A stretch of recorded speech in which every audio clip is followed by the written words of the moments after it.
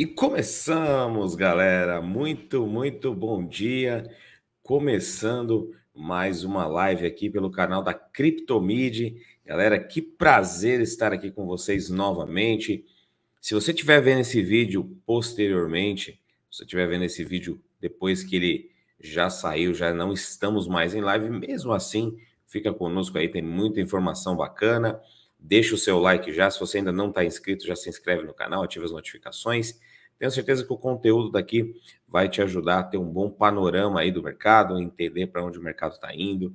A gente vai conseguir bater esse papo bem legal hoje, tá certo? Hoje é dia 1 de julho de 2024, começando aí oficialmente o segundo semestre. E a pergunta que fica, né, turma? Pergunta que fica é o que está aí no título do vídeo. Será que agora vai?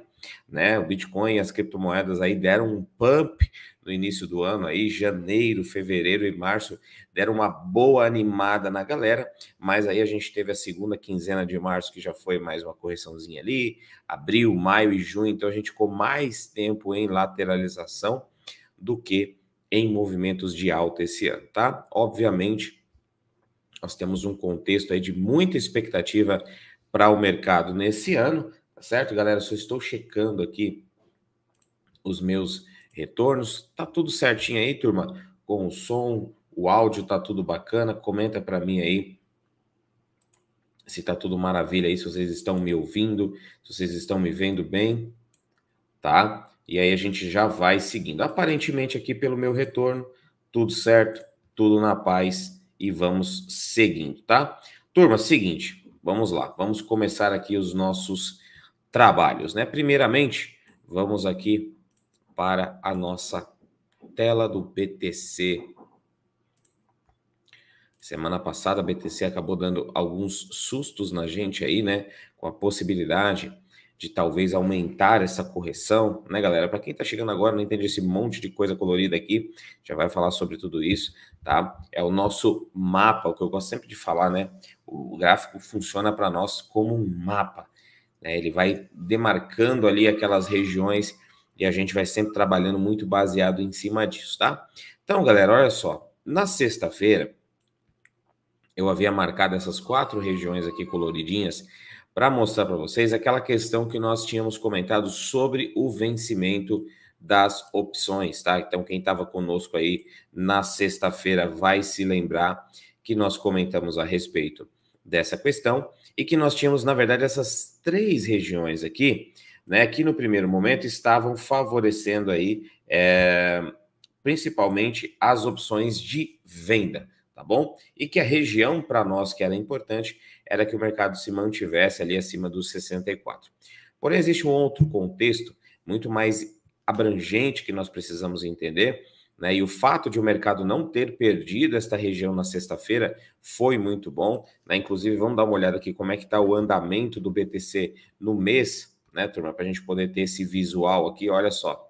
Pessoal, a gente está da seguinte forma neste momento, né? Tivemos aqui fevereiro, que foi um mês bem explosivo, março ficou de lado, abril neutralizou praticamente o mês de março, né? Maio nós já tivemos aí um volume cerca de 70, 65% do volume de abril.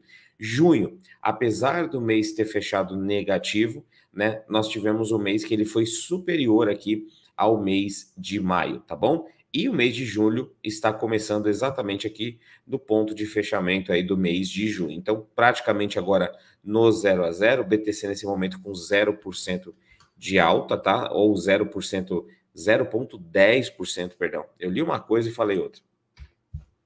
Como estamos nas semanas, né? Na semana, galera, fechamos a terceira semana negativa consecutivamente, tá? Mas isso aqui, ó, diz muito a respeito daquele movimento que nós vínhamos falando, né? Do movimento é, de consolidação. Então a gente teve momentos aí que o mercado foi testar a resistência, depois voltou para o suporte, testou novamente a resistência, voltou para o fundo. Olha que desenho claro, né, galera?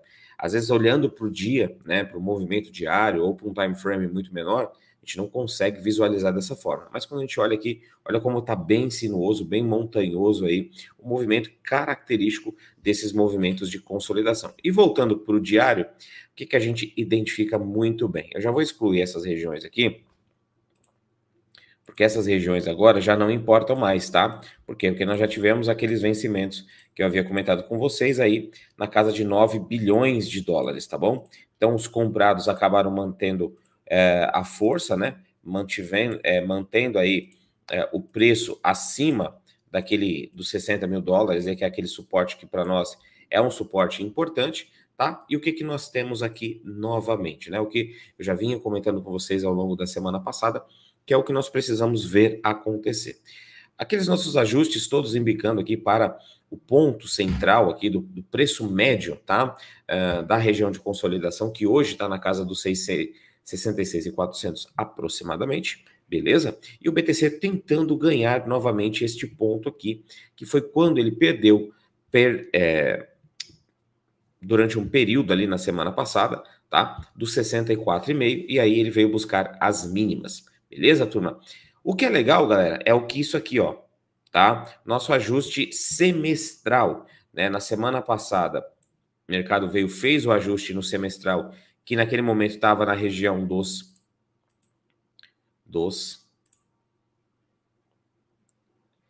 58,850, beleza? E agora este ajuste semestral já está no 59,620. Isso para nós é importante porque conforme o preço continua se deslocando para cima, né, uh, a tendência é que essas médias, esses ajustes, eles vão se acomodando para cima.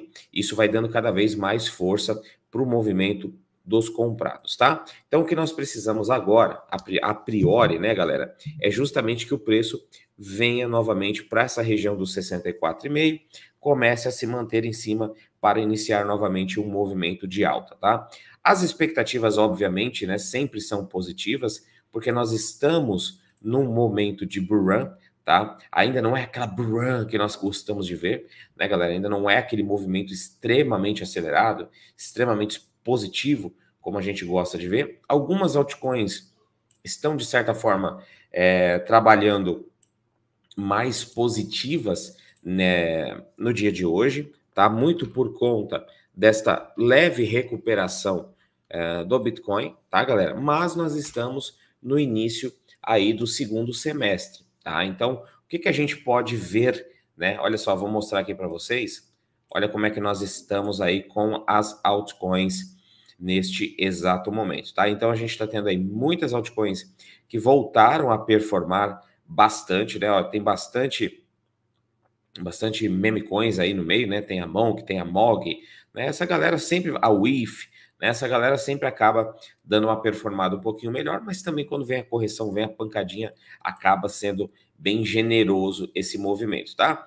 O que importa para nós, galera, é que altcoins, tá? Que tenham fundamentos, que elas comecem, obviamente, a performar, mostrar um pouco mais de força é, nesses movimentos. Então, a gente está vendo aí a Solana subindo 4,3% no dia de hoje. Eu tinha visto o Ethereum aqui, cadê o Ethereum? Subindo 2,4% nesse momento. A Link subindo 5,4% também neste momento. O que mais nós temos? A NS subindo 21,2%. Ah, fiquem cuidados com a Lido, tomem cuidados aí com a Lido, galera, porque eu li uma notícia brevemente aí de que aparentemente a Lido foi processada, teve algum problema lá nos Estados Unidos, não sei ao certo ainda essa informação, e mas, tá? Tomem cuidado aí para não cair em armadilhas com a Lido, tá? Tá subindo nesse momento, tá? Subindo 3,7%, mas é importante a gente ter um pouco de cautela aí, né? Não custa nada, né? A render subindo 4,3% e por aí vai. Como a gente sabe, né, galera, esses movimentos aqui para as altcoins não são movimentos tão expressivos, né? A gente sabe que quando o mercado realmente está uh, num movimento forte de alta, é, esses, esses percentuais aqui, geralmente eles trabalham na casa de três, quatro vezes o que a gente está vendo aqui, tá bom? Então, é uma recuperação? Sim, mas ainda não é uma recuperação dentro dos patamares. Foi importante nós termos começado aí, hoje, o primeiro dia de julho, com o mercado já acelerando para cima, já começando em alta, mas ainda não é o movimento que nós gostaríamos de ver. Beleza, galera? Maravilha. Por que, que não está acontecendo isso? A gente já te falou, a gente já comentou sobre isso algumas vezes aqui, né? Mas a gente sabe que o mercado sempre precisa de alguns drivers para ele poder acelerar. E vamos ver como é que está o calendário econômico para essa semana. Vamos ver se tem algum catalisador. Né? Vamos dar uma olhada geral aí para a gente entender como é que está o panorama do mundo, né? Saíram todos os meus filtros aqui, por quê? Isso aqui não me interessa, isso aqui não me interessa. Deixa eu dar uma ajeitada aqui, galera, porque entrou coisas aqui que não precisam. Saiu meu filtro aqui.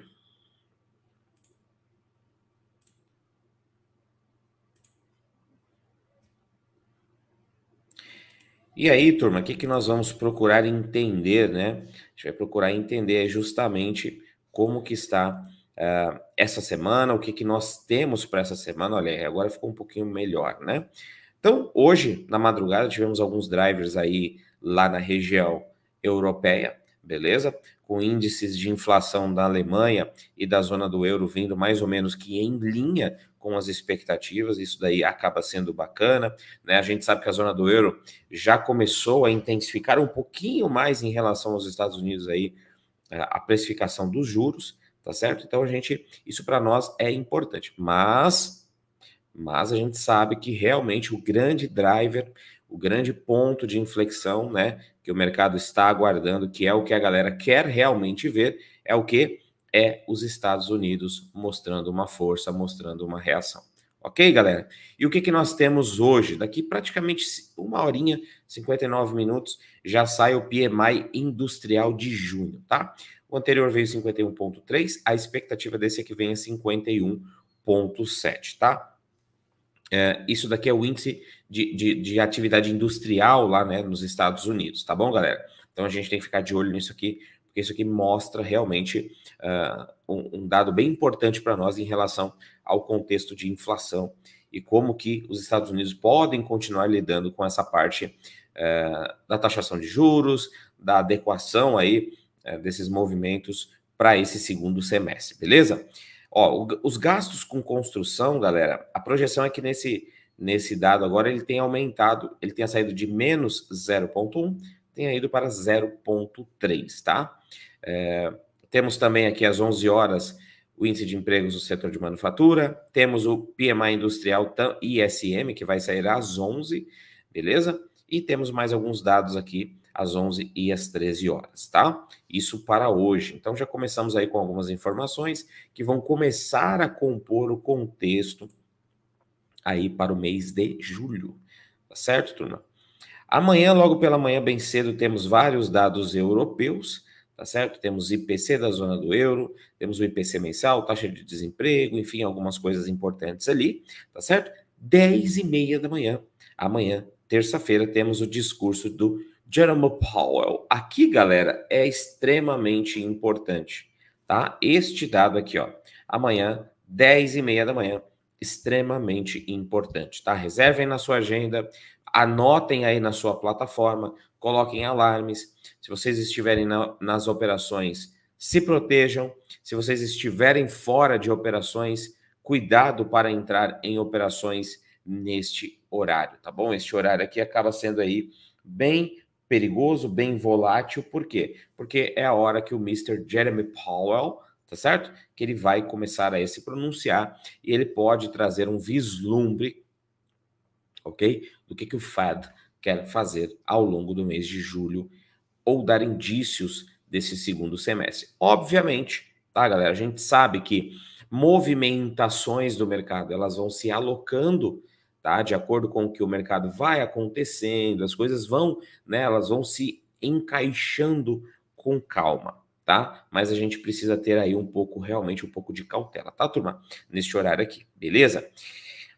Às 10 e meia também, para corroborar aí com este movimento que pode nos trazer uma volatilidade, teremos o discurso de Christine Lagarde, que é a presidente lá do Banco Central Europeu, e também pode nos direcionar em alguns pontos aí do que, que o Banco Central Europeu está planejando é, para a sua economia no próximo semestre. Tá certo, galera? 11 horas ofertas de emprego, isso daqui também é extremamente importante.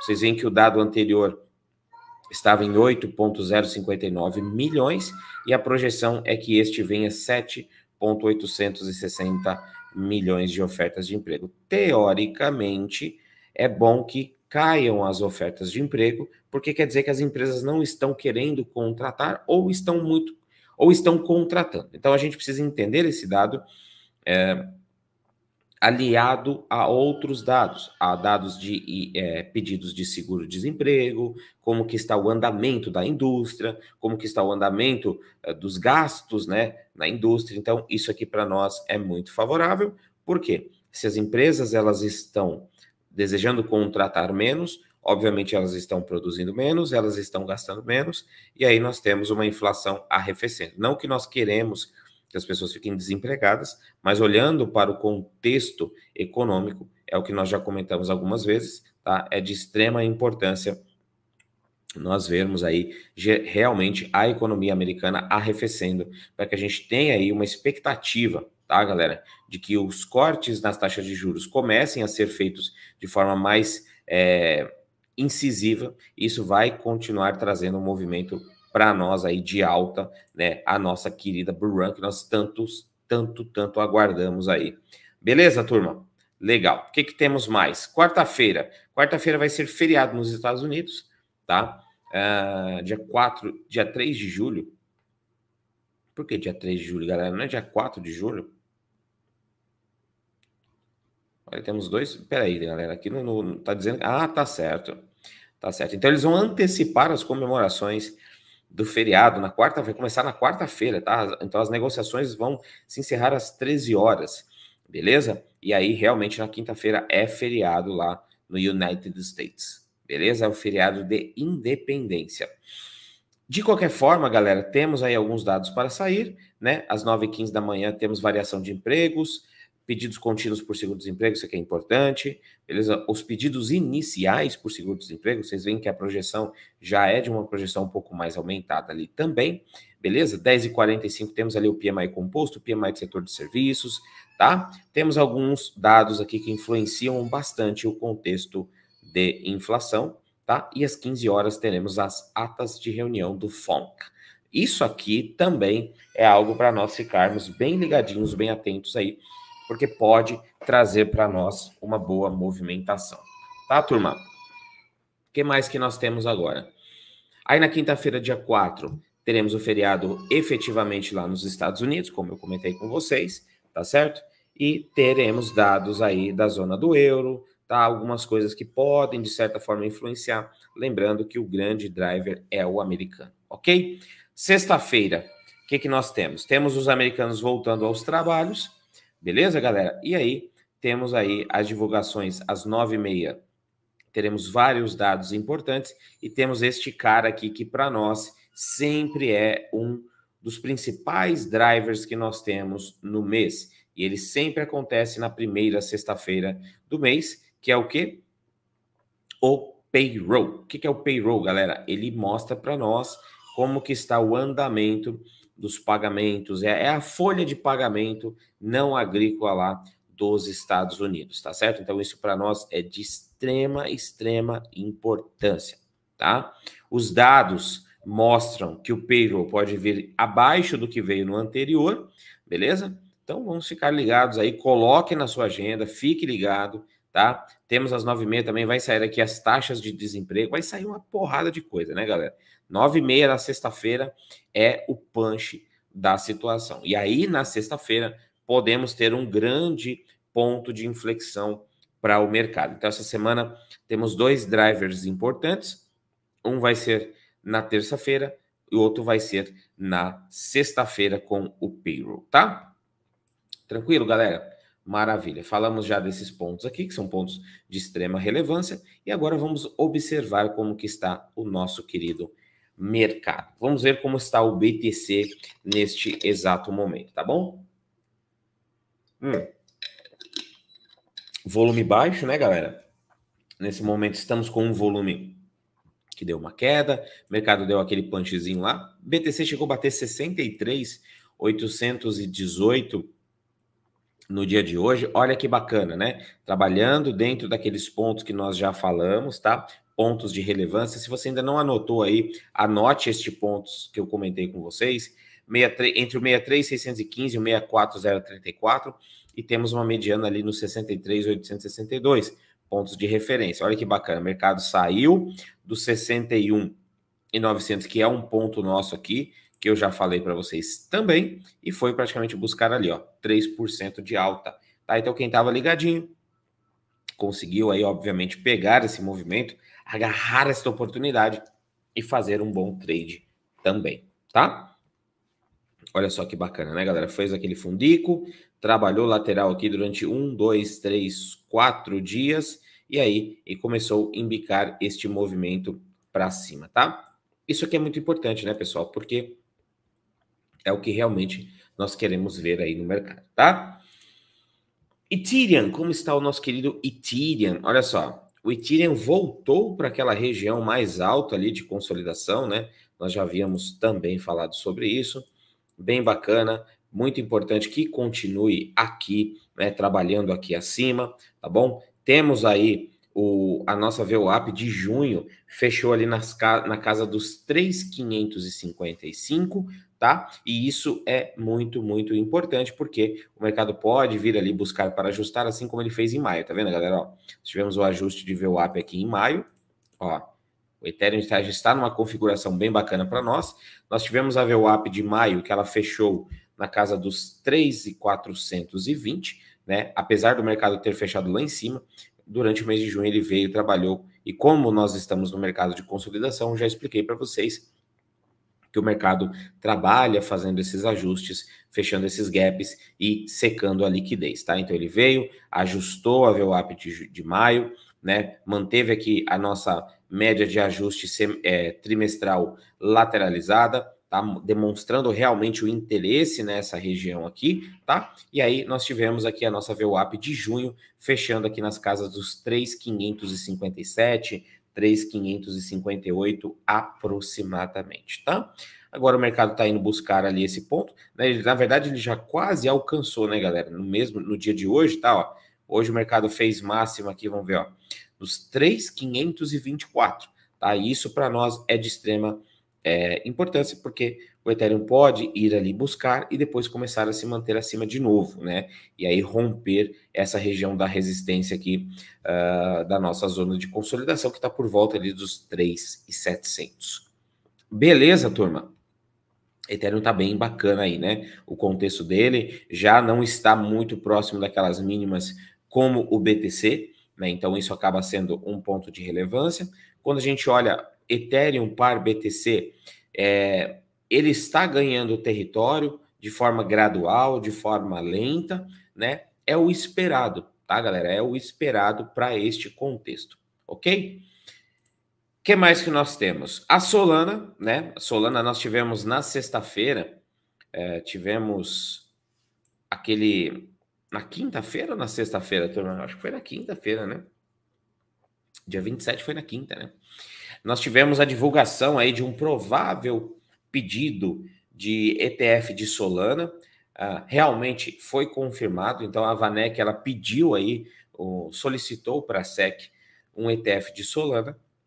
Na sexta-feira, olha só onde ele bateu lá em cima, galera. Olha que interessante como o mercado faz as coisas de forma interessante. Fez o nosso ajuste ali mensal, depois, na sexta-feira, devolveu pegou o nosso ajuste semestral, sabadão trabalhou lateralizado, e aí ontem de novo já foi trabalhar os ajustes ali, todo mundo afin, afunilando para um mesmo ponto de convergências, ok? E aí hoje começamos com a Solana subindo 0,48. As altcoins estão tímidas todas nesse momento, né? Ontem nós tivemos um dia um pouquinho mais animado, tá? Mas hoje a gente está um pouquinho mais cauteloso, apesar de a maioria dos ativos estarem em alta, porque o BTC também está meio paradinho, meio quietinho, meio de boas na lagoa, tá? O que é importante, galera, é o seguinte, tá? Nós tivemos o nosso ajuste aqui de VWAP mensal de maio, que fechou ali na casa dos 158 dólares, beleza? Apesar de junho ter feito uma queda, já ter feito o ajuste, Junho também finalizou aqui no 146.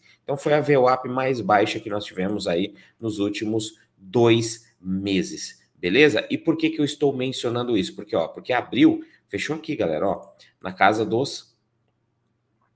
Na casa dos 151 dólares, tá? Então, pelo fato de junho ter fechado aí no, trimestral mais baixo, né, a VWAP mais baixa, julho já começou para cima. Olha que legal. Então, isso daí, para nós é importante, porque geralmente, galera, o, o ativo em consolidação é o que eu venho falando para vocês aí nos últimos 15 dias. Ele, ele busca né, fazer o ajuste, devolve, volta, faz o ajuste, devolve, e vai ou direcionando para cima ou vai direcionando para baixo, de acordo com aquilo que os players querem fazer, tá? Então a gente está com uma expectativa boa aí que esse mês pode ser que a Solana continue esse movimento de alta. Esta região aqui, turma, ó, essa região laranja aqui que ele está trabalhando neste momento, é uma região de interesse que vai ali da casa dos 139 até os 150. Então, ele ganhando daqui, ele tem um espaço para correr. Vocês percebem que entre esta zona laranja e essa, olha como que ele correu aqui e como ele correu aqui também rápido, né? E aí é importante para nós ele passar aí dos 150 e se manter acima para tentar buscar os novos níveis de preço também. Ok, galera? Isso é o que nós queremos ver para a Solana. Vamos ficar atento. Podemos ter estar diante de uma boa oportunidade para a Solana neste momento por conta desses drivers que eu comentei com vocês, né? É, essa, se esse pedido de, de ETF ele se mantiver aí, né, de pé, as negociações continuarem, nós podemos ter um movimento especulativo para a Solana, tá? Em breve nós podemos ter movimentos parecidos com este que nós tivemos no Ethereum quando saiu aí é, justamente a notícia da movimentação do ETF, tá? De Ether, né? Que ele saiu ali da casa dos 2.800 aproximadamente, chegou a bater ali nos 3.980, quase 4 mil dólares, subindo praticamente 40% aí em menos de 10 dias, tá? Então, isso que a gente está falando, galera, do segundo ativo mais é, com maior valor de mercado do nosso mercado de criptoativos. E aí, obviamente, a Solana, como ela é mais leve, né? Deixa eu mostrar uma cosita aqui para vocês. Como a Solana ela é um ativo que ela é relativamente menor, né, do que o Ethereum, então nós temos aí um poder de amplitude para Solana muito maior, né? Então o Bitcoin hoje ele é o nosso primeiro ativo, ele está com uma capitalização de 1.2 trilhão de dólares, Ethereum 417 bilhões de dólares, tá, galera? Então aí praticamente 30% ou aproximadamente uh, do Bitcoin, tá bom? E aí a Solana tá aqui, galera, na quinta posição com apenas 68 bilhões de dólares, tá? Então esse movimento, pessoal, pode trazer aí uma alta realmente explosiva para Solana, tá? Muito mais do que o Ethereum. Então, se o Ethereum subiu aí 40%, nós podemos ver a Solana aí subindo 80%, 90% aí no período talvez de uma semana, de 10 dias, tá? Não é de se duvidar. Então, fiquem ligadinhos, tá? Este cara aqui está num contexto bacana, né? Está no ponto que nós gostaríamos né, de ver Lembra que semana passada comentei também com vocês, ó. Isso é muito bom a gente ir acompanhando point a point. Então, temos na tela aí o índice do medo e ganância. Hum. O que, que esse índice demonstra para nós, turma? Demonstra para nós como que está o sentimento do mercado em vários aspectos, seja por conta das alavancagens, seja por conta uh, do movimento nas redes sociais, enfim, né? Nós temos aí um monte de marcadores aí que fazem, que compôs, compõem aí o índice do medo e ganância. E a semana passada eu comentei com vocês que quando geralmente ele chega nessa região, nós temos um provável ponto de inflexão. Tá? Por quê? Porque aí a gente tem a sardinhada despejando, a gente tem a sardinhada dando de graça uh, os seus ativos para os grandes institucionais, tá? E aí a gente vê que realmente o mercado já embicou, fez um movimentozinho para cima. Ah, Ricardo, mas é muito cedo ainda para falar que agora nós temos uma inversão do movimento. Eu concordo com vocês, né? Até porque esse movimento ele precisa se provar que ele está sendo positivo.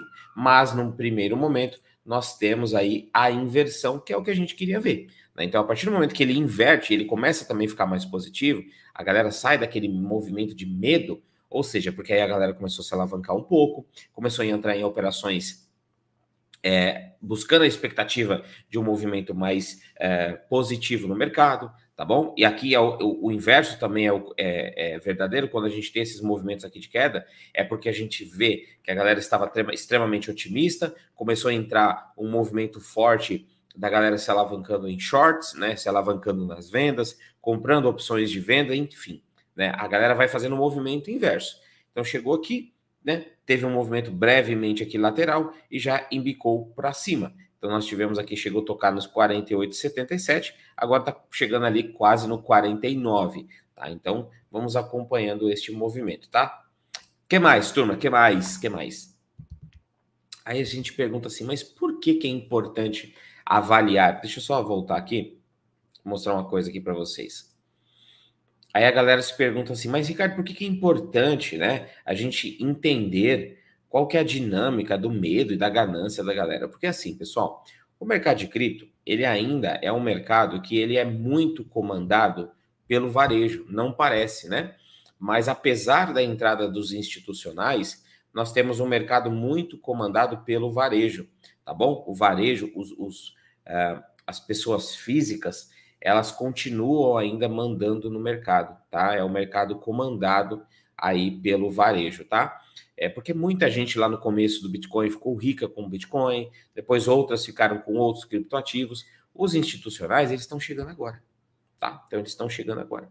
Então, pelo fato de eles estarem chegando agora, nós temos justamente, galera, é, entender o movimento do medo e da ganância dessas pessoas físicas da galera que realmente está fazendo o mercado, para nós é importante. Tá? Então, qual que é o grande ponto? O institucional, por conta que ele tem um volume de dinheiro, ele consegue manipular, ele tem ferramentas para manipular o mercado, e aí ele vai conseguindo trazer o mercado para o contexto que ele quer. E as baleias também fazem isso muito bem, tá? Agora vamos olhar aqui, galera. Isso aqui é muito bacana, né?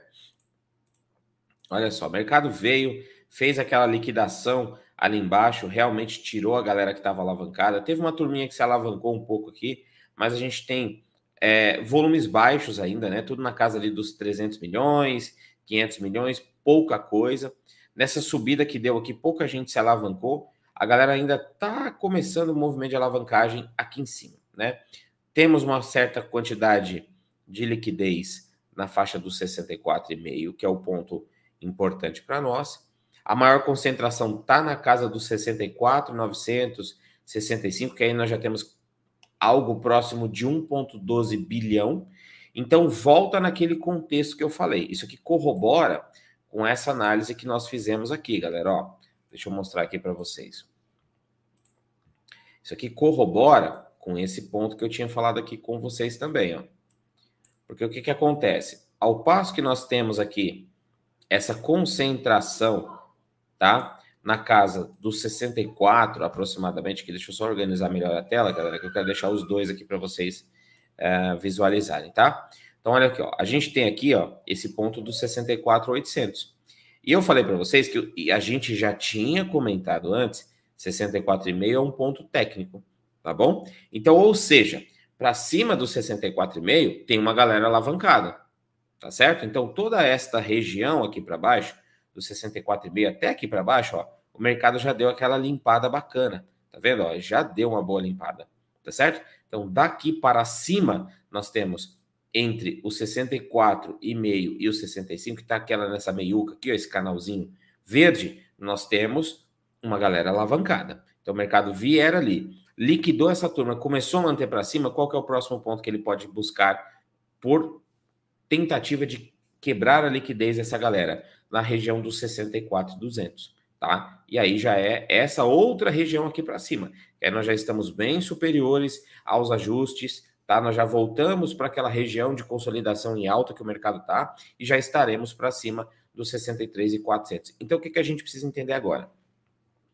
Nós temos dois pontos cruciais para o mercado recuperar para cima, tá? Região aqui dos 64,5 e posteriormente vir buscar aqui os 69,200. E aí, turma, fica um espaço livre, né, para a gente buscar a máxima de novo. Então, vocês percebem que a, a, a, a consolidação ela serve para isso.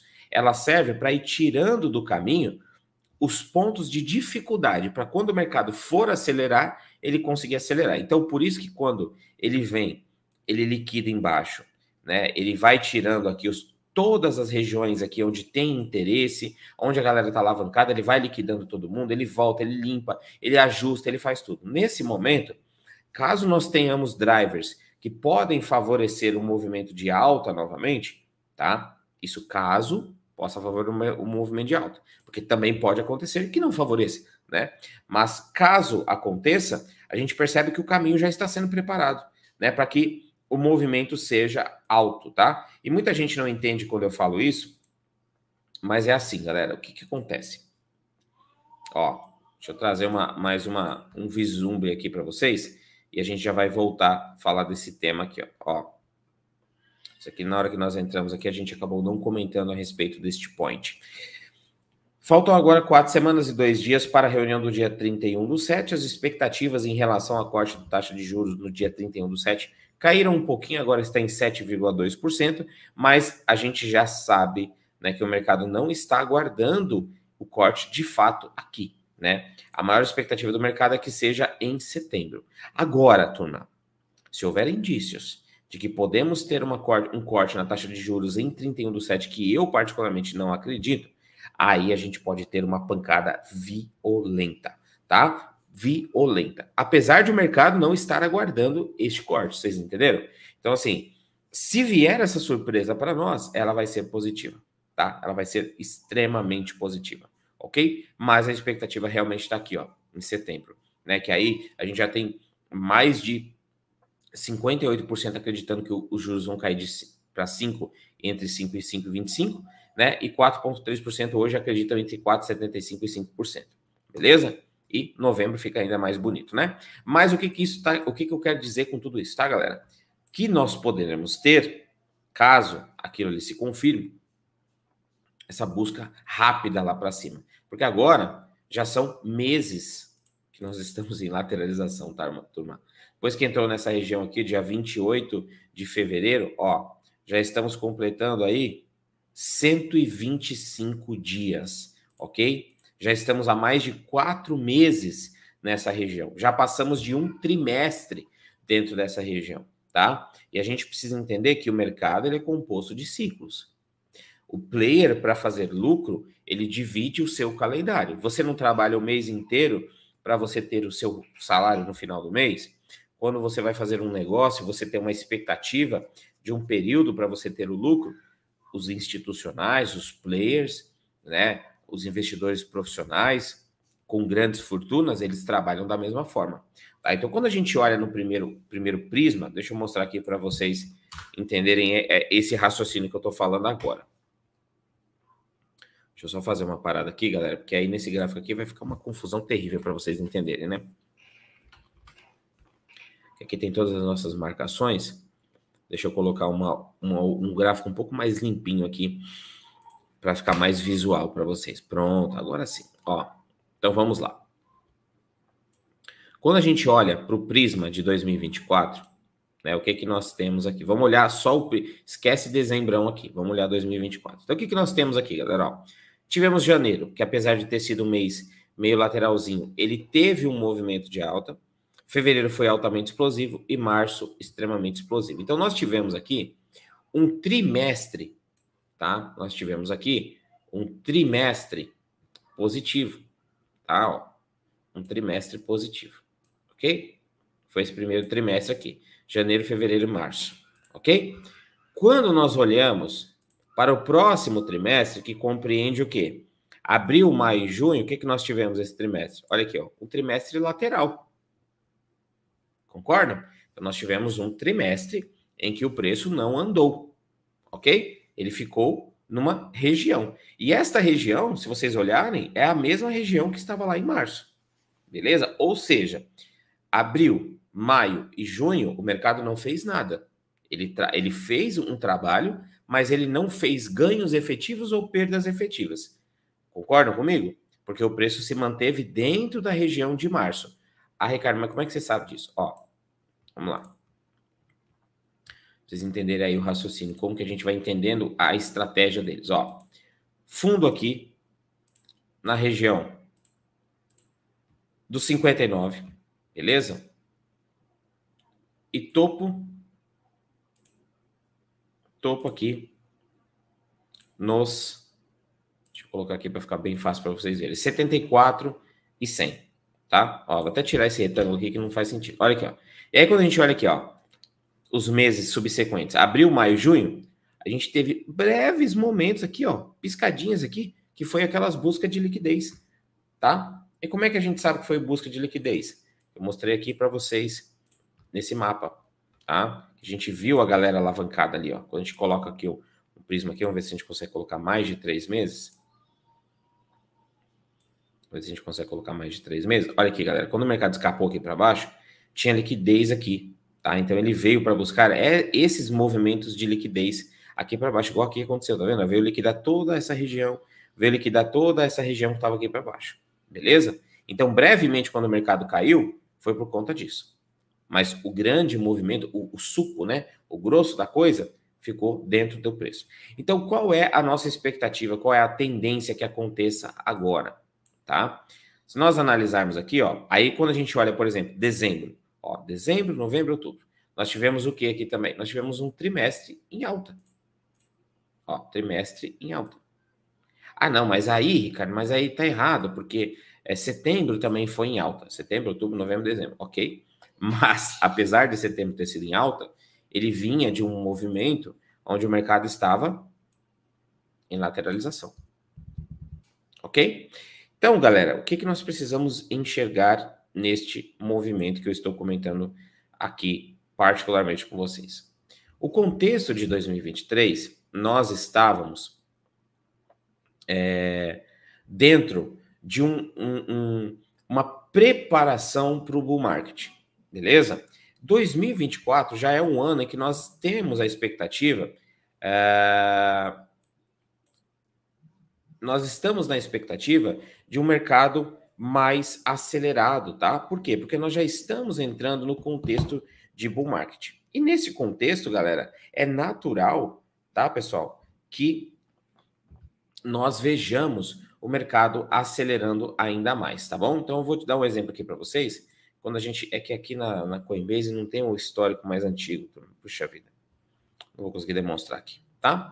Então qual que é a nossa expectativa agora, tá, galera? Qual é a nossa expectativa agora? Apesar de que aqui, ó, tá errado, tá, pessoal? Aqui é para cá, porque esse último mês aqui foi o último mês da alta, tá? Então nós passamos aqui quatro meses praticamente dentro de um movimento de um canal lateral e depois movimentamos para cima. O que nós podemos ter no mês de julho são duas condições, tá, pessoal? É um movimento onde o mercado venha fazer um novo teste dessa região de topo, tá?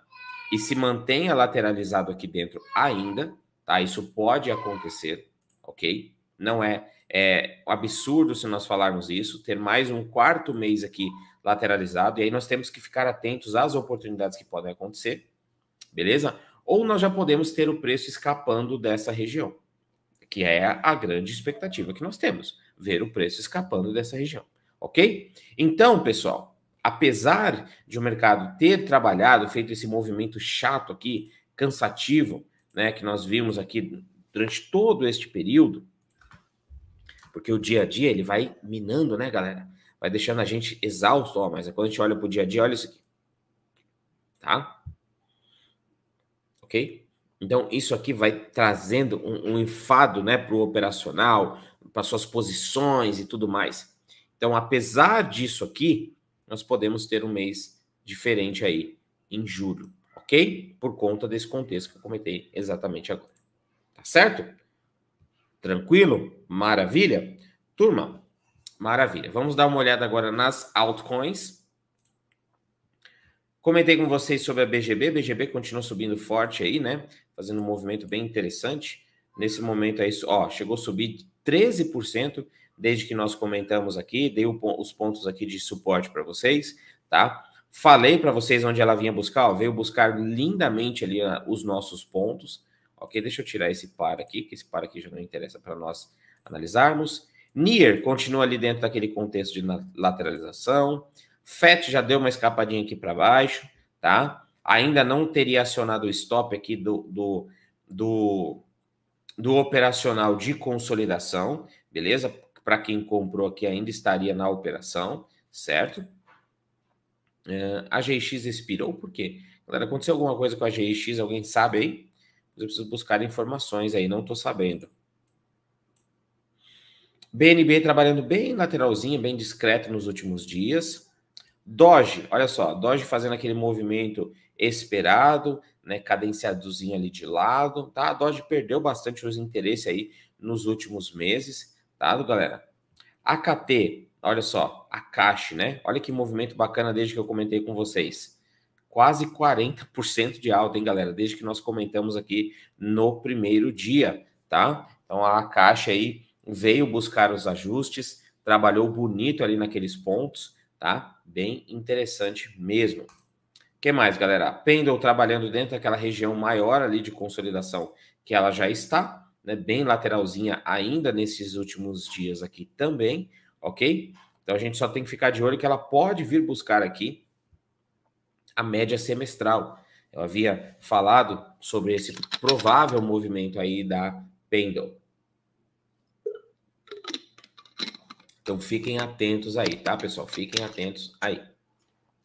Esse mês nós vamos ter também uma coisa que eu me lembrei agora.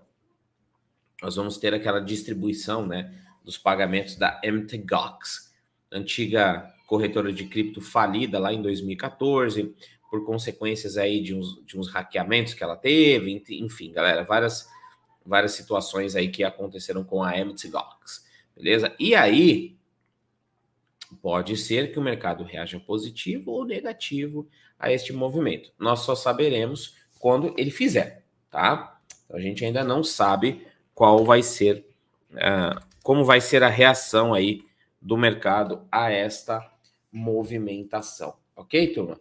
Então, para a gente poder saber disso aí, a gente só vai saber mesmo quando o mercado fizer, tá? Então, mas é um driver também para a gente ficar atentos. Ok? que mais? Uh, DOT, olha só. A DOT fazendo também aquele movimento. Se segurou no suporte ali do 5,57. Para quem estava ligadinho, conseguiu pegar 14% de alta. A Link também se segurou no nosso suporte aqui, tá, galera? Ela até chegou a fazer um movimento, depois quase devolveu tudo. E aí agora subindo, entregando aí quase 8% de alta, tá? XRP bem lateral, como eu comentei com vocês. A gente nem vai ficar se prendendo muito na XRP, tá bom? Uh, eu tinha notado aqui, turma, mais algumas altcoins. Deixa eu ver aqui, ó, para a gente poder falar. ENS. ENS faz bastante tempo que a gente não fala sobre ela, tá? ENS USDT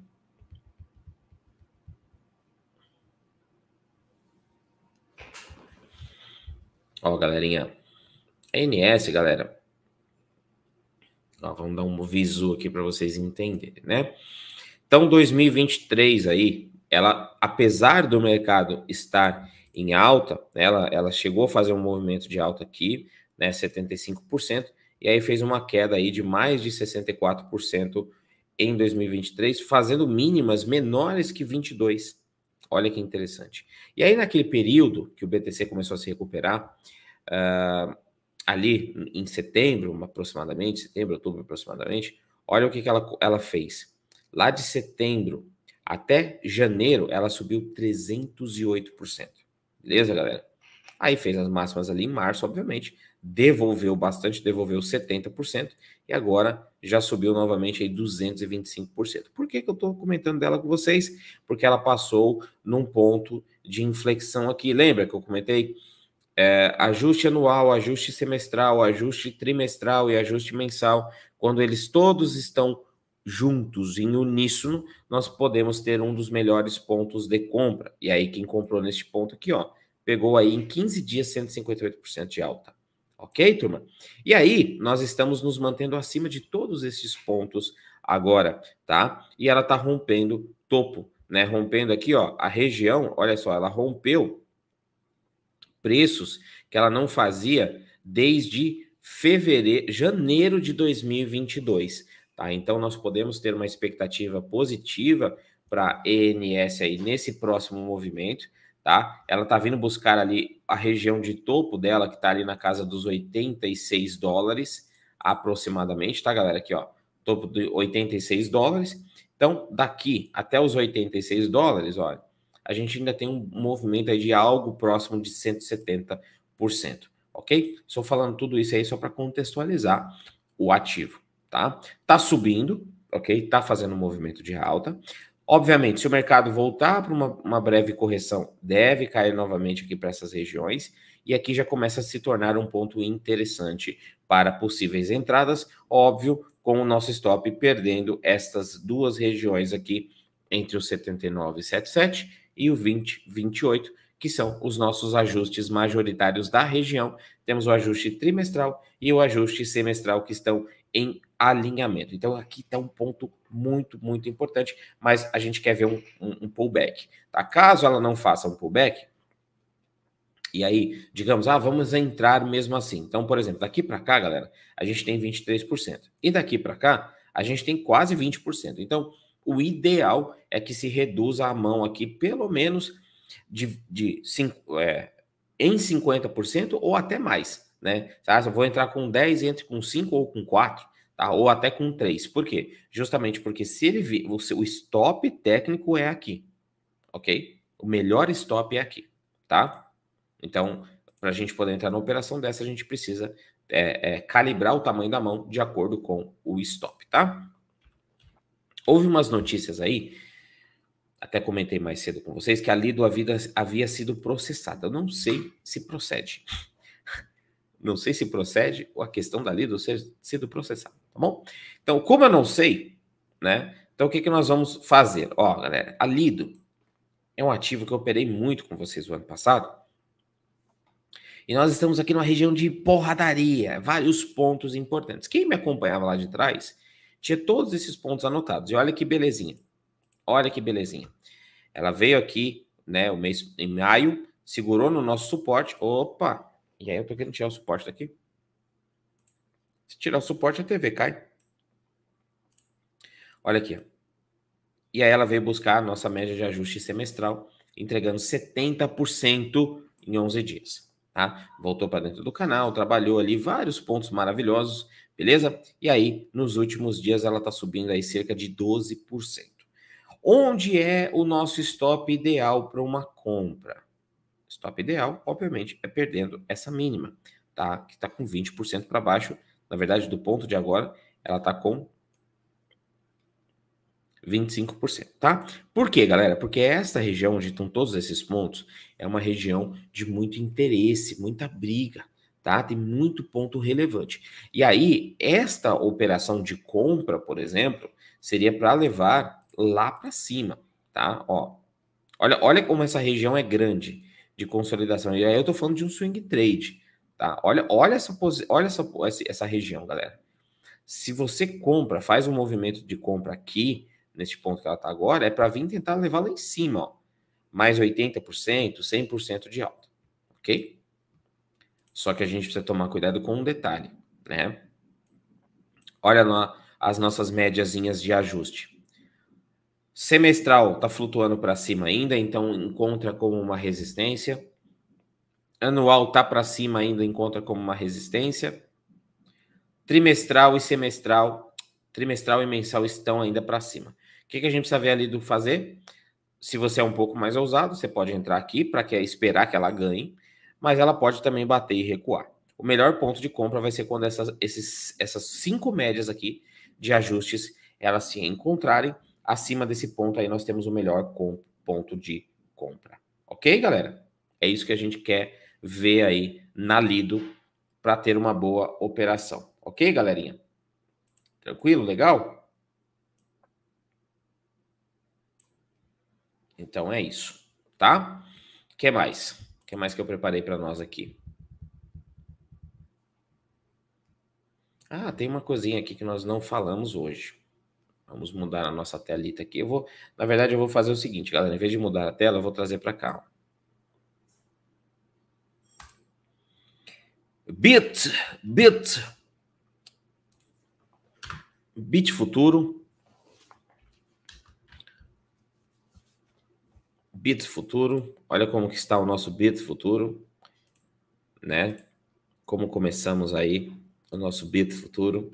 Então, sexta-feira trabalhamos aí na região lateral, tá? Hoje estamos ainda bem tranquilos, né? Movimentação bem tranquila dentro deste ponto aqui, trabalhando alguns pontos de interesse nosso. Temos uma VWAP mensal ali em cima, um ponto bem importante na casa dos 362, tá? Agora vamos olhar aí um time framezinho menor. Nós vemos como que está o nosso bid. Uh, preso ainda, né, nas regiões, Tá? Eu estava falando aqui com vocês. Não estava acompanhando o Beto. E aí, olha o que, que ele fez aqui, galera, esse meninão. Ó. Entre um ponto e outro, nosso aqui subiu 3 mil points e veio, fez uma correção de mais 3 mil points, beleza? Aparentemente, o mercado trabalhando bem consolidado nesta faixa de preços, por enquanto, né? Sem nenhuma. Opa, subi a tela para o lado errado aqui sem nenhuma agressividade de nenhuma das partes. Estou acompanhando a outra tela aqui, o fluxo uh, tá bem baixo ainda, tá bom, galera? Bem tranquilo, bem suave. Então a gente vai acompanhando o nosso querido BIT. Lembrando que o BIT, como eu já falei para vocês algumas vezes, é... ele é um ativo derivativo, ok? O que, que é um derivativo? Derivativo é igual aquele iogurte aquela manteiga, aquele queijo que você compra, tá? Se você não tem o leite, você não tem o derivativo. Então, para você entender a essência do derivativo, é muito importante você compreender uh, do ativo original, tá? Então é importante você, você quer entender bem do leite, do queijo e do, e do iogurte, é muito importante você entender do leite, né? Então, ou seja, você saber da onde ele vem, tá? Uh, então, isso daí é uma coisa que para nós parece brincadeira, mas não é não, tá, galera? Ativos derivativos, eles precisam ter a correlação com o ativo natural, tá? E no nosso caso, o ativo natural é o BTC, ok? Tranquilo, turma? Galera, deixa eu fazer umas projeções aqui, né? Vamos ver como é que tá o bitzão no dia de hoje, tá? BTC subindo nesse momento. Estamos com dólar 5,598, tá? Então, neste momento, galera, nós temos uma correlação aí de que o nosso bit ele está mais precificado para cima do que o ativo original, tá? Em reais, nós temos o ativo original saindo a 352 e 900, enquanto o bit está na casa dos 353 e 900.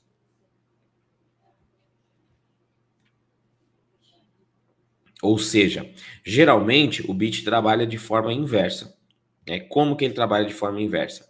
Trabalha assim, galera. Ó. A maioria dos dias ele tem que trabalhar de forma inversa, né?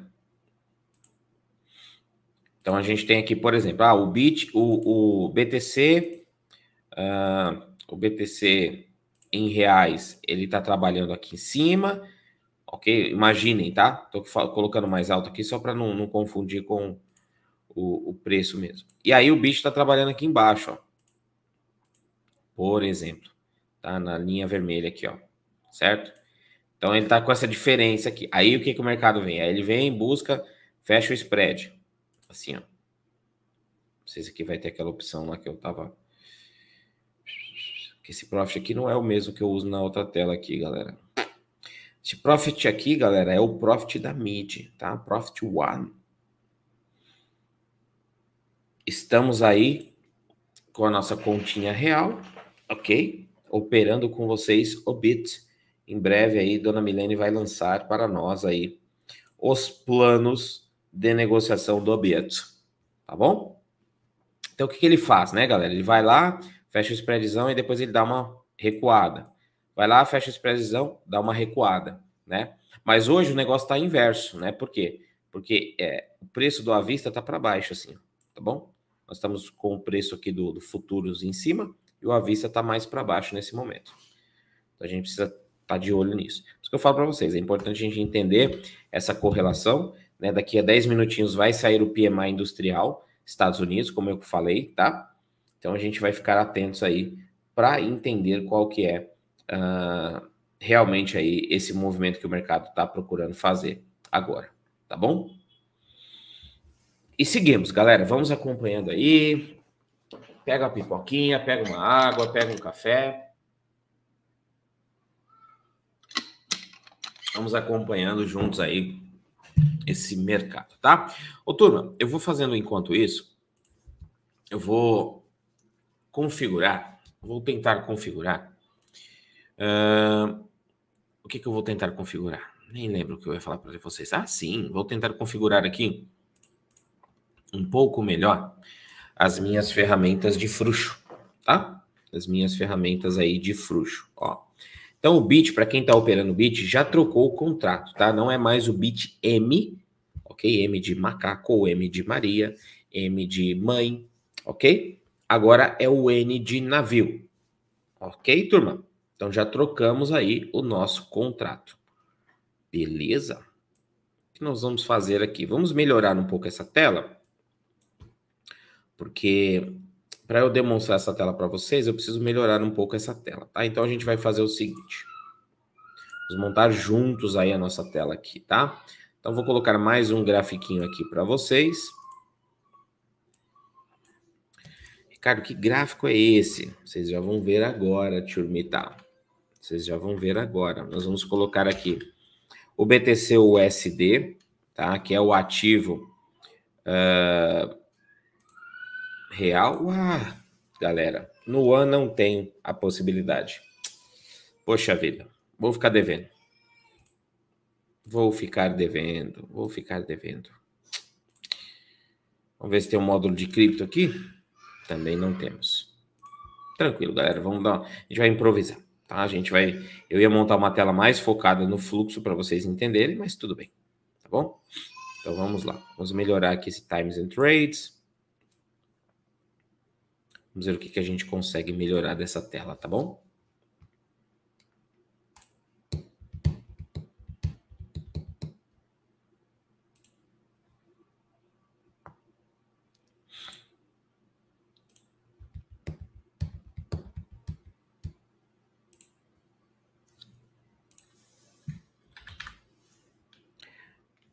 Pessoal, vocês podem quando vocês estiverem ao vivo aqui comigo,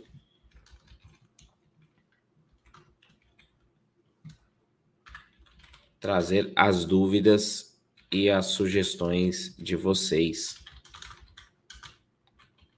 Bom? Galerinha. Vamos que vamos, tá? Ok, turma, vamos lá, vamos dar uma olhada no dia de hoje. Quantidades, ok, visibilidade. Então, vamos ver o que a gente consegue melhorar aqui nessa tela. Não vai ser possível colocar as cores que eu queria, tá?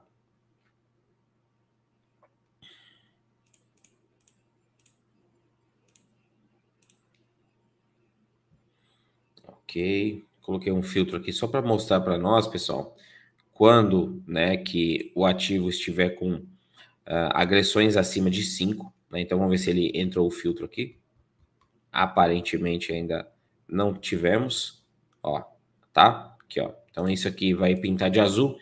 Ó, não é o filtro ideal, ok, galera, que, que eu queria mostrar para vocês. Aqui eu vou colocar colorir a linha inteira. Esse aqui, ó. Esse aqui vai remover. Esse aqui vai remover. Ok, tá? Vamos ver se ele aplicou. Aquele lá de baixo. Ó, então, toda vez que a gente vê essa linha azul passando aqui no Times and Trades, quer dizer que nós tivemos uma agressão acima de cinco contratos, tá? Ó. O que, que isso quer dizer, galera? Nós estamos tendo, ó, o fluxo está muito baixo, turminha. Olha lá, ó. lá embaixo, ó, ok? Nós não estamos tendo um fluxo contínuo aqui, tá vendo? Está tendo um fluxo, mas não é tão contínuo como a gente gostaria de ver, ok?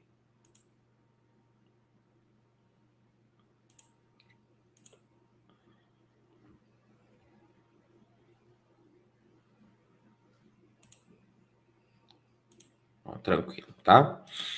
Hum, que mais? Acabou de sair uma, um no 5 ali. Um 5 ali. Então, livro de ofertas, o que, que a gente vai fazer agora? A gente vai colocar uma linhazinha branca aqui, ó. E a gente vai filtrar as ordens acima de 20, de 15, perdão. Na verdade, de colocar 10, viu, galera? Porque tá tão pouco.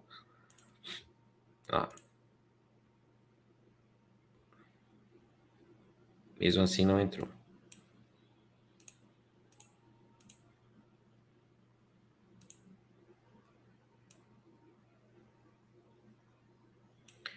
Estamos montando essa tela, galera, para ficar mais fácil a nossa visualização do bit, ok? Do bits. Vamos colocar aqui no preços também.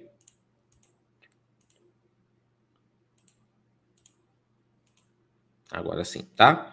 Então, tudo onde nós temos aí essa, essas caixinhas brancas aparecendo, nós temos ofertas superiores a 10, ok? Tentar melhorar esse volume at price aqui. Então temos aí, vamos colocar no período de hoje. Ó, galera, olha aí, já começa a ficar um pouquinho mais interessante.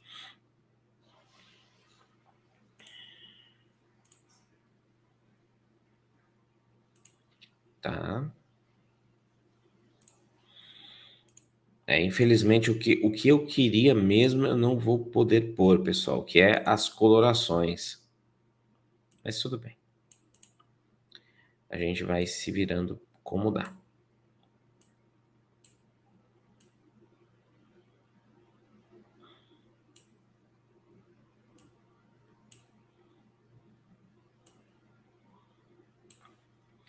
Beleza? Então vamos travar essas janelitas aqui e salvar. O mercado fazendo, perdendo ali aquela região. Vamos ver como é que está o ativo à vista agora.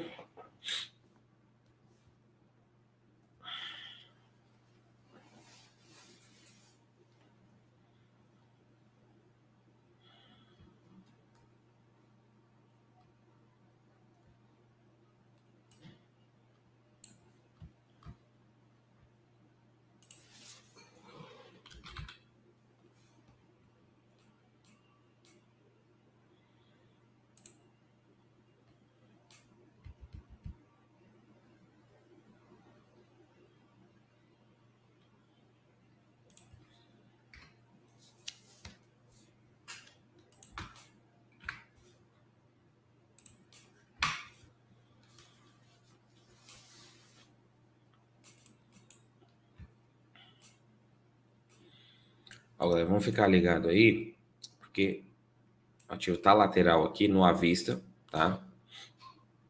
E aí ele pode vir tentar fazer uma, uma busca dos suportes, tá? Onde está esses suportes? Ali na região dos 350 e 700, tá? Mais ou menos, ok?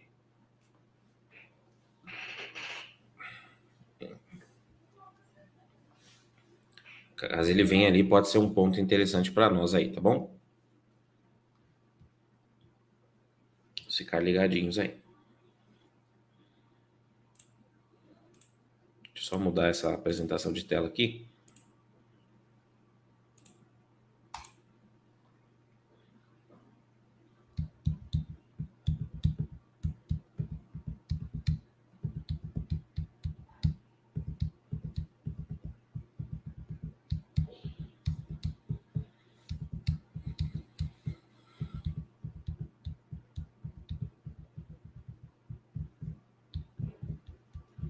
É isso aí, galera. A região lá dos 350, 937 mais ou menos.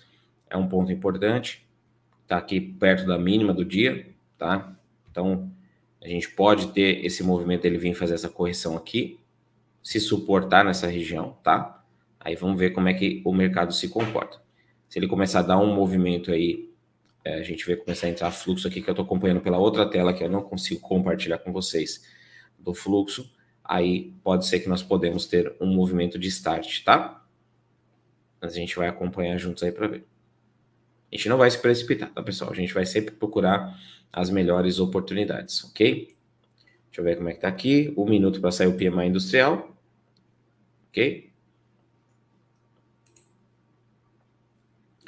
Vamos ver se não está desatualizada a minha tela ou se é isso mesmo. É isso aí, um minutinho.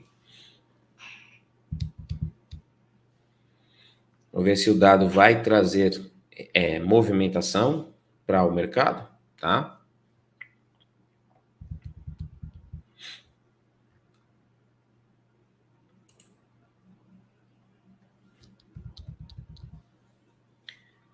sempre em momentos de notícia, tá, galera? O ideal é a gente entender o, o ativo, como que ele está se comportando naquele momento, a, os possíveis pontos para onde ele pode correr, tá? E ficar atentos naquilo que o dado pode trazer de informação, de peso, né? Interpretar os dados, galera. Ai, olha, saiu tanto, saiu não sei o quê. Como que a gente faz para poder pegar isso? Não, o nosso trabalho não é esse, tá, galera? os institucionais eles têm uma equipe gigantesca que trabalha ali para essa interpretação. Nós temos que apenas que reagir, ok? Ó, saiu aqui o dado, tá? A expectativa era 51.7, veio 51.6. Vamos ver se vai trazer alguma vol para o mercado agora. É uma vol imediata. Tá, vamos aguardar aí.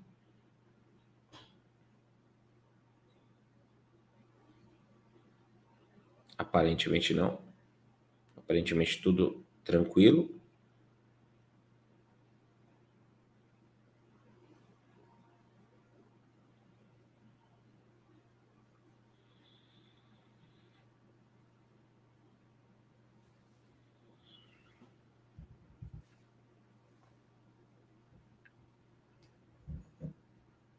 Tá entrando um pouquinho de fluxo, galera, mas ainda bem indefinido, tá?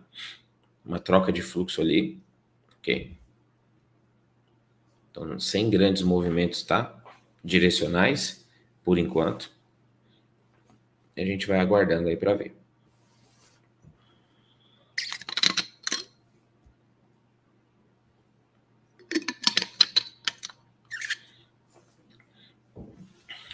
Pessoal, por que, que a gente acaba tendo essa cautela toda, né? Porque o mercado lateral, ele é muito arriscado, tá, pessoal? Ele é um mercado que ele pode te machucar muito se você não tomar cuidado, tá bom? Então, realmente, a gente precisa ter esse, esse cuidado adicional aí, tá? No mercado lateral. Entrou um pouco de fluxo de compra. Eu tô tá mostrando os candles aqui. Como tá difícil de ler esse fluxo por aqui, eu tô lendo pela minha outra tela. E aí eu tô compartilhando com vocês o que está acontecendo. Entrou um pouco de fluxo de compra, né? Teve uma defesa vendedora, tá bom? mercado trabalhando dentro dessas regiões. Lembrando que eu falei para vocês que o melhor ponto, né? Melhor ponto aí na compra é o 350, 890 nesse momento, tá? Então, aqui, mais ou menos aqui, nesta região. Porém, pessoal, não é só ele chegar na região, tá? Isso daí, isso aí tem que ficar criteriosamente muito definido, tá bom? Não é só chegar na região, tá? Ele precisa chegar na região e, e precisa haver um interesse comprador ali, para que a gente realmente tenha um, um, algo que sustente a nossa compra, tá?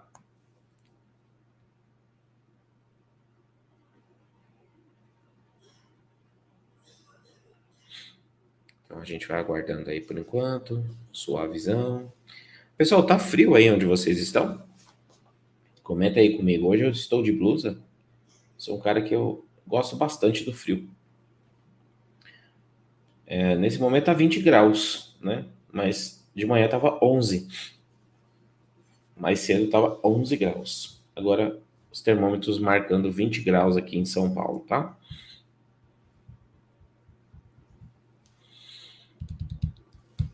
Mais precisamente São Caetano do Sul.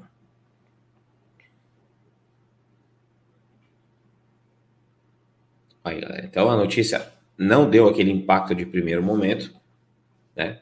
O mercado não deu aquela reagida de primeiro momento, certo? E olha o canalzinho bem lateral, né, galera? Bem, bem, bem trincado mesmo.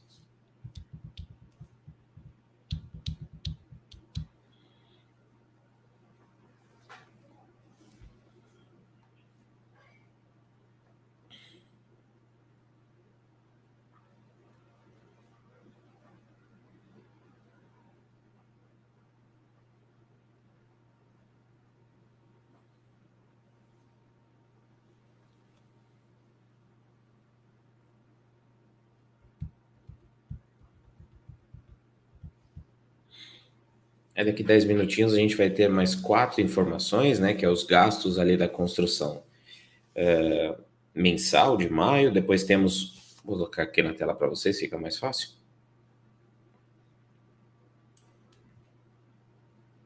É, mas eu mudei a, a compartilhamento, não vai aparecer, né, turminha? Eu vacilei agora. Então, nós temos o gasto de construção, índice de empregos no setor manufatureiro, PMI industrial daqui 10 minutinhos e preço no setor preços do setor manufatureiro também. Então, aí temos dados também que são realmente importantes, né? Todos eles com de relevância média para alta, tá? Então, é muito importante aí nós ficarmos ligadinhos neste movimento.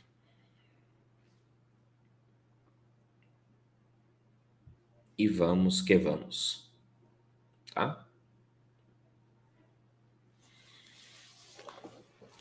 Por enquanto, nada para fazer, pessoal. Só aguardar. Mercado vindo buscar ali aquela região que nós comentamos.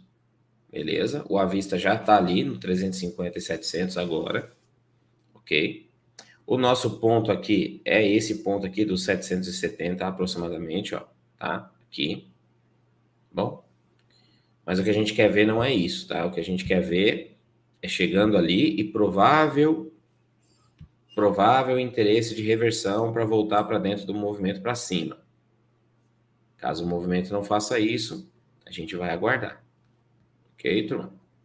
A gente vai aguardar um pouquinho mais aí para ver o que, que acontece.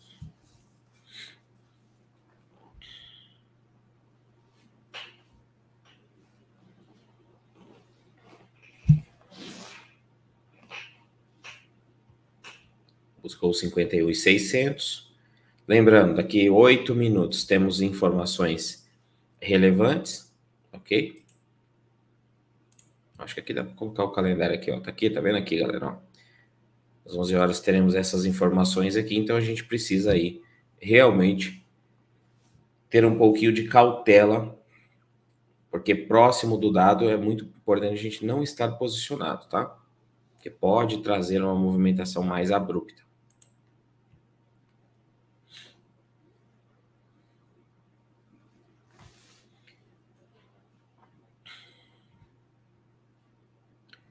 Tranquilidade, galera? Suavidade na nave?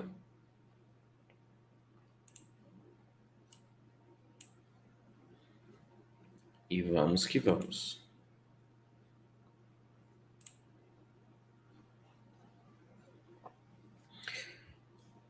Interessante, né, galera, que a gente pegar o fechamento semestral, né? É, nesse semestre aí, né, de janeiro até junho, agora o Ethereum subiu 43,92%, né, o fechamento semestral.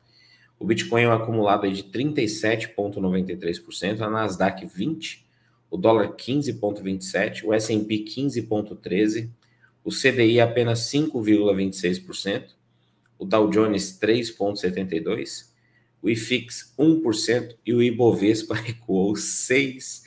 0,62%, tá?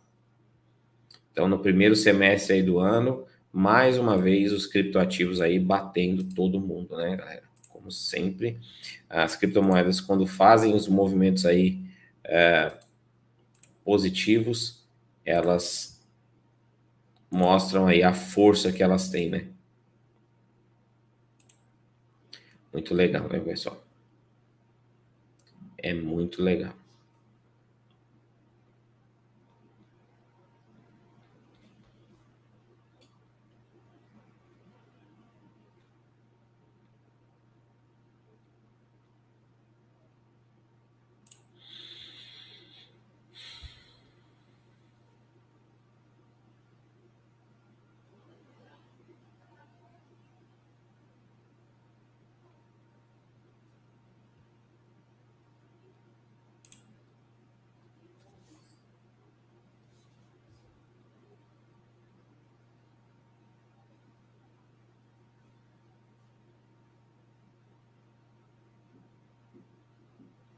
E seguimos, né, galera? Vamos aguardando aí. Ó, o mercado deu uma segurada aí nesse ponto. Tá ainda bem trincadinho ainda.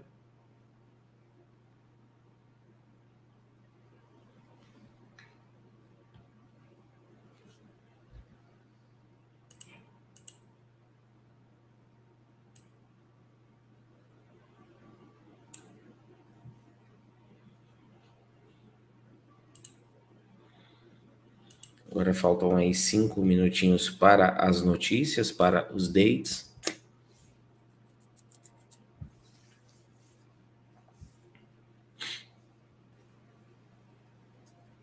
E vamos aguardando aí para ver.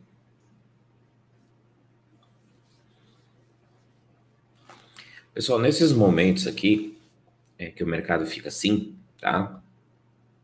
Para quem não está ao vivo conosco, se você estiver ao vivo, é o momento que nós conseguimos tirar as dúvidas de vocês, tá bom? Quatro minutos.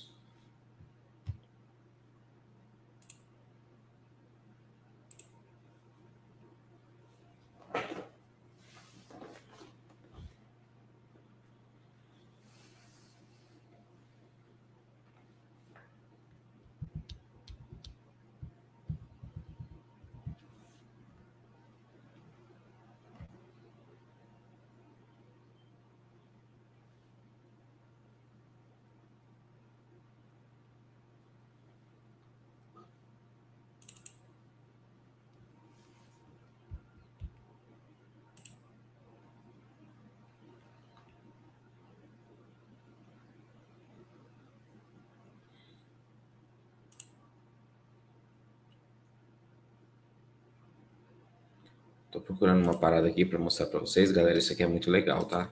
Espero que eu consiga achar.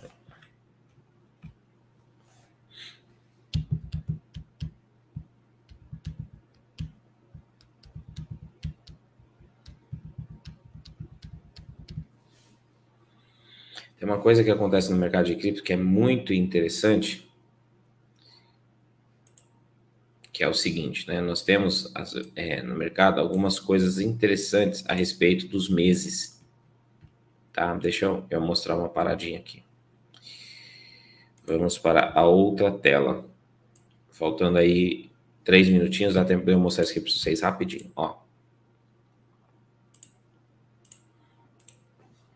O mercado ele sempre trabalha com meses antagônicos, né? Então, junho e julho eles têm é, uma uma, um, um, histórico de serem antagônicos. Então, aqui, ó, negativo, positivo, positivo, negativo. Aí aqui os dois foram positivos, tá?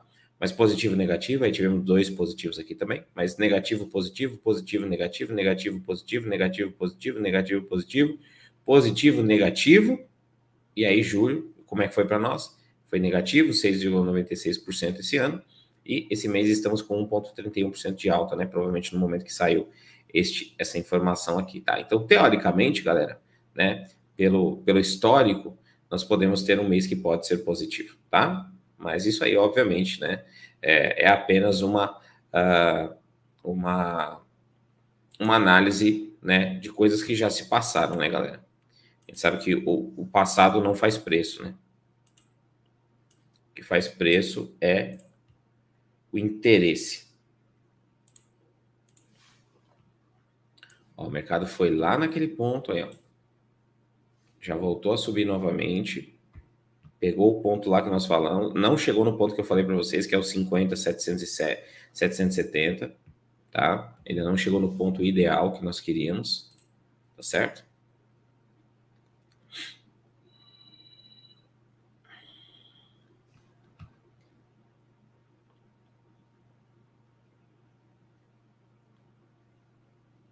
Mas vamos que vamos, galerinha. Um minuto para sair a notícia. Vamos ver como que o mercado vai se acomodar aí nesse momento. Tá? Eu estou mais de olho, galera, mais propenso para uma venda. Eu não sei, eu estou sentindo esse mercado mais, mais cadenciado para venda, tá? Acho que eu estou com um pouquinho de cautela aí. Nós perdemos essa primeira venda boa aqui, porque nós estávamos falando dos ativos originais, sem problema nenhum faz parte, tá? Mas eu estou mais propenso para venda. O ativo ele está com mais cara de venda do que de compra nesse momento. Vamos ver como é que vai ser agora com os dados, né? Com as informações. Faltando aí um minuto agora para sair. Dados americanos, gasto da construção mensal de maio, índice de empregos no setor manufatureiro, PMI industrial de junho e preços no setor manufatureiro também de junho.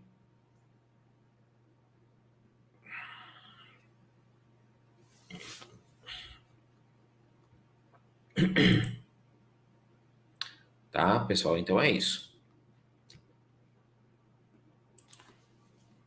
A gente vê que o ativo mesmo ele tá parado, tá? O ativo spot está parado nesse momento. Baixou bastante o fluxo. Provavelmente não aguardo aí dos dados. Em um minutinho agora. Menos de um minutinho agora, né? Aí se o mercado. Olha aqui, galera. Vamos lá. Os dados saíram abaixo aí, né, das expectativas. Isso é muito bacana. Vamos ver como é que o mercado vai se comportar agora. Vamos ver se vai entrar algum fluxo aí.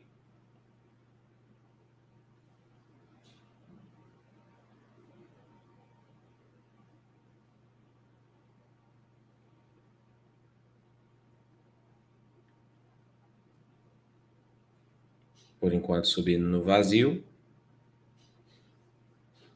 Não é o movimento que a gente quer, tá bom?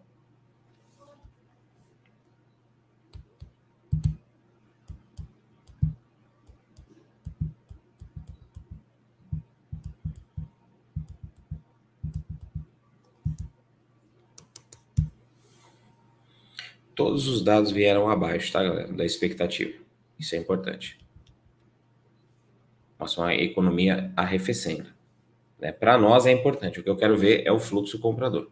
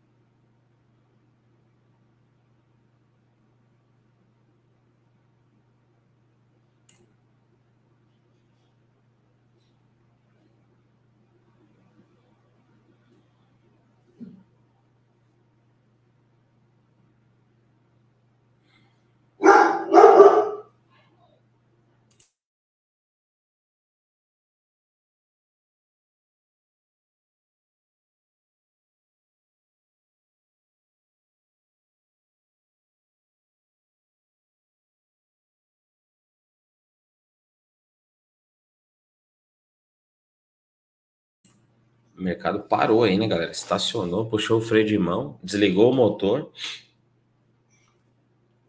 Depois que saiu a notícia, o mercado tá, tá digerindo, né? Tá mastigando, tá avaliando, tá tipo, puxa assim, vamos ver, né?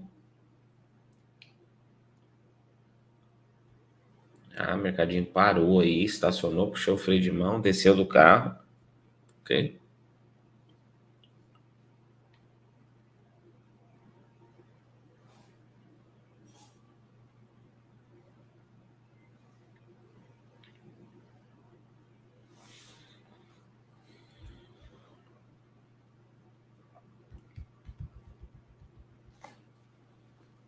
Vamos aguardando aí, tá? Com calma, tranquilidade.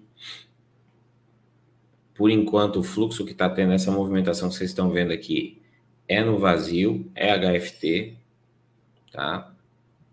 Quando eu falo isso, eu estou falando olhando para o ativo spot, beleza? E aí, este ativo que é um derivativo, ele segue a movimentação, tá?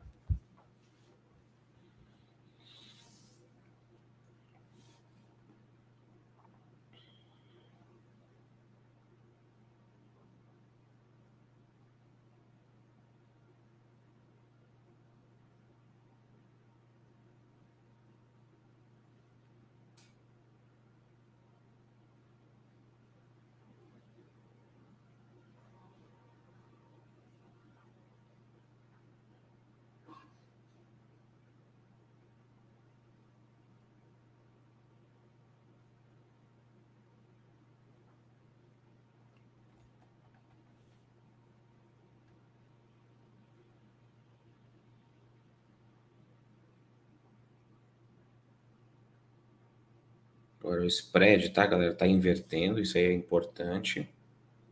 Ok?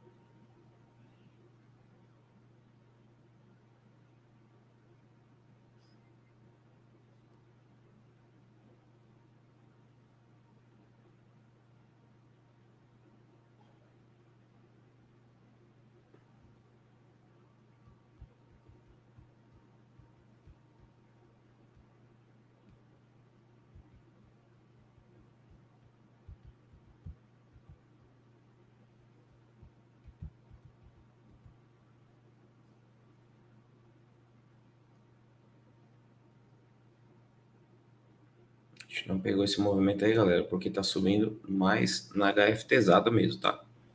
Eu tô com um pouco de receio aí desse movimento ser um movimento falso. Se for embora com a gente, tudo bem. Sem a gente, ok. Tá bom?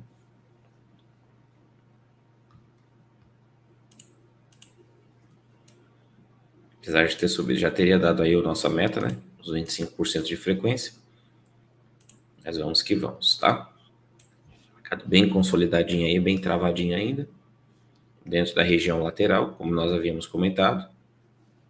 Então, em movimentos de lateralização, a gente precisa tomar bastante cuidado com esses pontos aí. Ok, pessoal?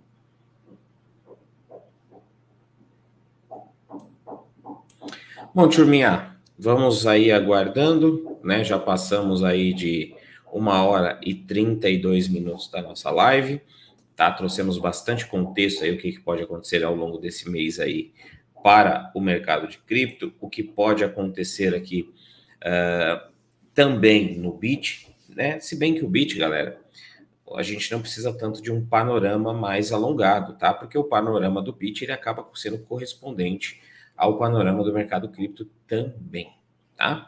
Então, isso daí é muito importante de nós ficarmos ligados e entender essa movimentação, ok, galera? E o que nós temos de movimentação em um, nós também teremos de movimentação no outro. E isso é o que nós temos que ficar mais atentos no pitch, certo, galera? Então fiquem ligados aí nesse contexto que eu estou falando para vocês. Por isso que eu vou trazendo esses pontos né, de interesse aqui, como essas esses pontos amarelinhos que estão anotados aí, ok? E diariamente a gente está alimentando esses pontos, entendendo onde são as melhores regiões, o que, que o mercado está fazendo, o que, que o mercado não está fazendo, beleza? Qual que é o direcionamento que o mercado está dando para nós neste exato momento, qual que é a perspectiva e por aí vai, e assim por diante tá bom? Então, fiquem muito ligados, muito, muito ligadinhos aí neste contexto.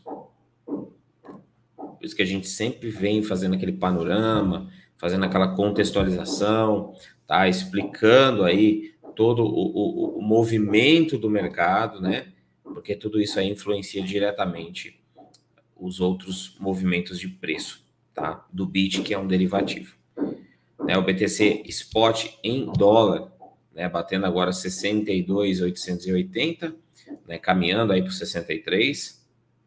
Óbvio que a gente quer ver o movimento de alta, mas para o intraday a gente tem que estar tá ligado nas correções também, os micro pullbacks, enfim, tá bom? Galera, os pontos que nós temos aí são esses. Temos ponto aqui no 343,600 lá para baixo também. 341,959 e a mínima também é, ali na região dos 338,460 e para cima temos alvo no 362,901, tá? Então, para quem vai continuar operando aí, vai continuar acompanhando o BIT, esses são os principais pontos de interesse. Beleza, galera? Eu vou ficando por aqui, tá? Vou continuar acompanhando o mercado.